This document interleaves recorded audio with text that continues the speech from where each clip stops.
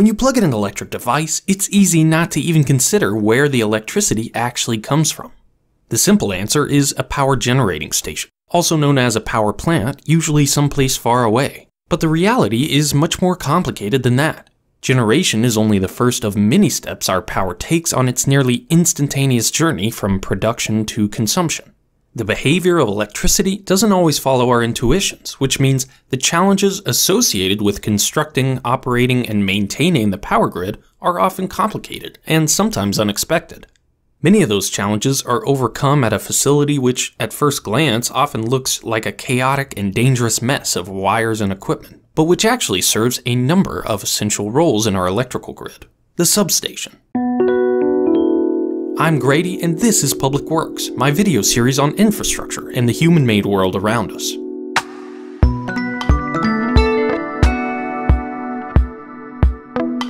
This video is sponsored by NordVPN. Visit nordvpn.com slash practical engineering to get 75% off a three year plan. More on that later.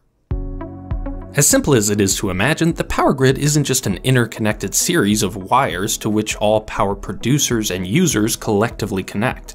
In reality, the electricity normally makes its way through a series of discrete steps on the grid, normally divided into three parts generation, or production of electricity, transmission, or moving that electricity from centralized plants to populated areas, and distribution, or delivering the electricity to every individual customer. If you consider the power grid a gigantic machine, and many do, substations are the linkages that connect the various components together. One of the cool parts about our electrical infrastructure is that most of it's out in the open, so anyone can have a look. I'm somewhat of an infrastructure tourist, a regular beholder of the constructed environment, and my goal is for you to be able to mentally untangle this maze of modern electrical engineering so that the next time you feast your eyes on a substation, you'll be able to appreciate it as much as I do. Originally named for smaller power plants that were converted for other purposes, substation is now a general term for a facility that can serve a wide variety of critical roles on the power grid. Those roles depend on which parts of the electrical grid are being connected together, and the types, number, and reliability requirements of the eventual customers downstream. And the first and often simplest of these roles is switching. The general layout of a substation consists of some number of electric lines, called conductors if you want to fit in with the electrical engineers, coming into the facility. These high voltage conductors connect to a series of some or many pieces of equipment before heading out to their next step in the power grid. As a junction point in the grid, a substation often serves as the termination of many individual power lines. This creates redundancy, making sure that the substation stays energized even if one transmission line goes down but it also creates complexity. The connections to these various devices are called buses, often rigid overhead conductors that run along the entire substation. The arrangement of the bus is a critical part of the design of any substation because it can have a major impact on the overall reliability. Like all equipment, substations occasionally have malfunctions or things that simply require regular maintenance. To avoid shutting down the entire substation, we need switches that can isolate equipment, transfer load, and control the flow of electricity along the bus. This may seem obvious, but turning on and off high voltage lines isn't as simple as flipping a light switch. At high voltages, even air can act like a conductor, which means even if you create a break in the line, electricity can continue flowing in a phenomenon known as an arc. Not only does arcing defeat the purpose of the switch, it is incredibly dangerous and damaging to equipment so switching in a substation is a carefully controlled procedure with specially designed equipment to handle high voltages. Disconnect switches are often just called switchgear, in addition to the equipment that serves another important role in a substation, protection. I mentioned earlier that much of our electrical infrastructure is exposed and out in the open. That's nice for people like me who enjoy having a look, but it also means being vulnerable to an endless number of things that can go wrong. From lightning strikes to rogue tree limbs, windstorms to squirrels, grid operators contend with so many threats to their infrastructure on a day by day basis. When something causes a short circuit on the power grid, also called a fault, it can severely damage power lines and other equipment. Not only that, because of the overwhelming complexity of the power grid, faults can and do cascade in unexpected and sometimes uncontrollable ways, leaving huge populations without power for hours or days. Many of the ways we protect equipment from faults are handled at a substation. One of the most common types of electrical fault is a short circuit to ground. This type of fault creates a low resistance path for current to flow and leads to an overload of power lines and equipment. The simplest way to protect against this type of fault is with a fuse, a device that physically burns out at a certain current threshold. Fuses are dead simple and don't require much maintenance, but they do have some disadvantages too. They're one-time use, and they can't be used to interrupt current for other types of faults. On the other hand, circuit breakers are a class of device that serve similar roles as fuses, but provide more sophistication for dealing with a wide variety of faults. Like disconnect switches, circuit breakers need to be carefully designed to interrupt huge voltages and currents without damage. As soon as contacts within a circuit breaker are moved apart from one another, an electrical arc forms. This arc needs to be extinguished as quickly as possible to prevent damage to the breaker or unsafe conditions for workers. Extinguishing the arc is accomplished by a material called dielectric that doesn't conduct electricity. For lower voltages, the circuit breakers can be located in a sealed container under vacuum to avoid electricity conducting in the air between the contacts. For higher voltage, breakers are often submerged in tanks filled with non-conductive oil or dense dielectric gas.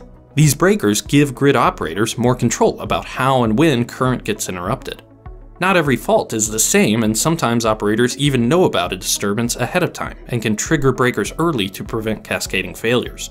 Many faults are temporary, like lightning strikes or swaying tree branches. A special kind of circuit breaker called a recloser can interrupt current for a short period of time and re-energize the line to test if the fault has cleared. Reclosers usually trip and reclose a few times depending on their programming before deciding that a fault is permanent and locking out. If electricity demand on the grid gets so high that it can't be met by the utility, substations may also be used to shed load. Rolling blackouts are used to lower the total electrical demand to avoid bigger failures on the grid. One of the most important parts on the power grid is that different segments flow at different voltages. Voltage is a measure of electrical potential, somewhat equivalent to the pressure of a fluid in a pipe. At large power plants, electricity is produced at a somewhat low voltage of around 10 to 30 kilovolts, or kV. From there, the voltages increase much higher so that it can travel along transmission lines. Using a higher voltage reduces the losses along the way, making them more efficient, but also much more dangerous. This is why overhead transmission lines are so tall, to keep them out of the way of trees and human activities. But when transmission lines reach the populated areas which they serve, it's not feasible to keep them so high in the air. So prior to distribution, the voltage of the grid needs to be brought back down using transformers located within a substation. A transformer is an extremely simple device that relies on the alternating current of the grid to function. It consists of two adjacent coils of wire. As the voltage in one coil changes, it creates a magnetic field. This field couples with the other coil, inducing a voltage. The incredible part of a transformer has to do with the number of loops in each coil. The induced voltage will be a function of the ratio of the loops, for example, if the transmission side of a transformer has 1000 loops, while the distribution side has 100, the voltage on the distribution side will be 10 times less.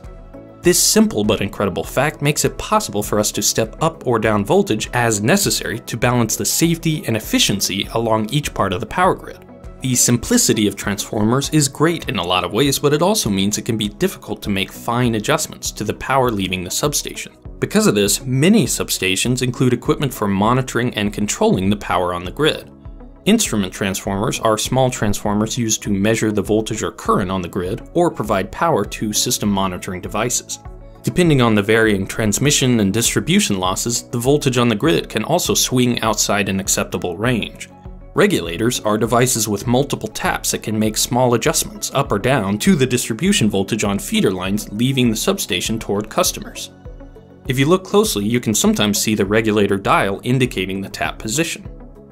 All that different equipment requires lots of maintenance. The final and most important role of a substation is that it be safe for electricians and linemen to inspect, repair, and replace equipment.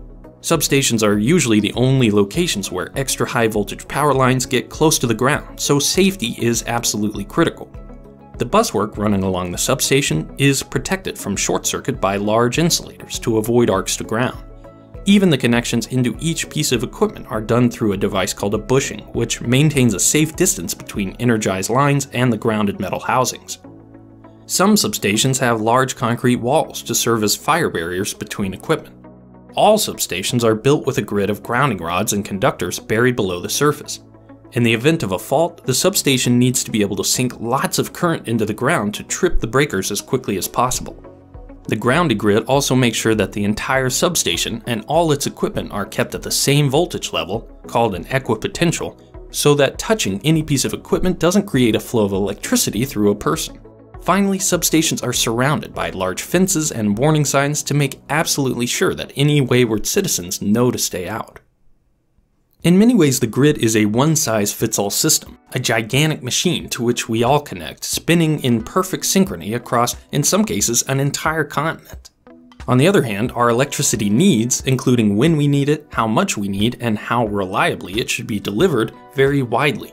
Power requirements are vastly different between a sensitive research facility and a suburban residential neighborhood, between a military base and a country club golf course, and between a steel mill and a bowling alley. Likewise, every electrical substation is customized to meet the needs of the infrastructure it links together. As the grid gets smarter, as demand patterns change, and as we hopefully continue to replace fossil fuel generation with sources of renewable energy to curb global warming, managing our electrical infrastructure will only get more challenging. So substations will continue to play a critical role in controlling and protecting the power grid. Just like electricity on the grid, internet traffic goes through several steps along the way.